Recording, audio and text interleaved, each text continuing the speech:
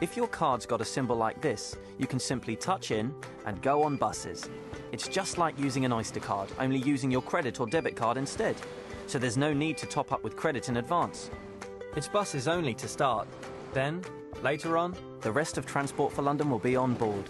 Tube, trams, DLR, and London Overground. You may be ready already.